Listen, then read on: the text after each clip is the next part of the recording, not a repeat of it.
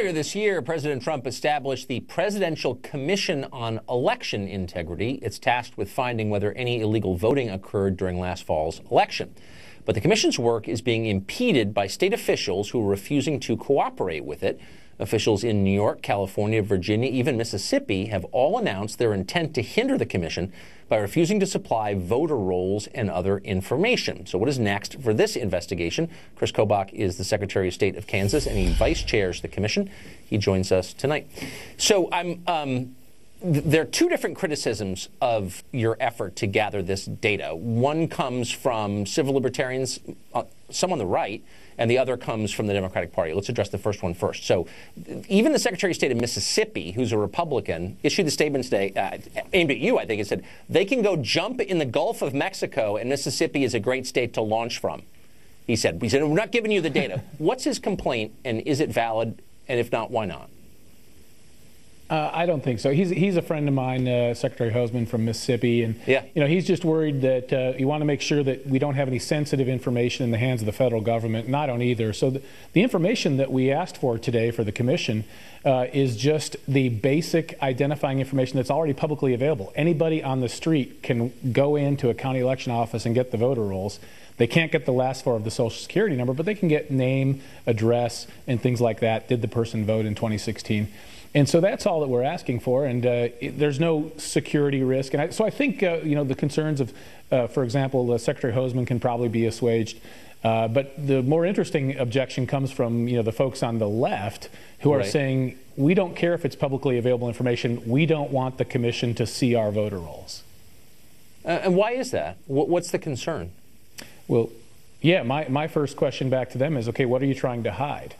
for example, if we can, in order to do this kind of investigative work, you have to have the voter rolls, which again, in any given state, you have hundreds of candidates who, who buy the voter rolls every election cycle. Lots of organizations buy them. What we're going to do is do something that's never been done before try to compare these voter rolls to federal databases. So, for example, uh, one thing that's never been done that's very important is the federal government knows the names of more than 15 million aliens who are living in the United States. In fact, it's closer to more than 20 million. Uh, the individuals are here on green cards or on temporary visas, but the states have never been permitted to see, hey, how many of those aliens have registered to vote in my state? Right. The number is likely to be very high, but let's find out what the number is. And that's one of the reasons I think California is afraid of what they might find out. You know, they don't have any sort of precautions that effectively ensure that non-citizens aren't voting. I mean, I, I'm against federal databases as a general matter, but a federal election seems like a federal concern. I mean, it doesn't seem like a crazy ask. So here's the other criticism that this whole enterprise has been taking, and you specifically have been. This was a guest earlier on this channel on Fox today, impugning the motives, basically, of your investigation. I want you to respond to this. Watch.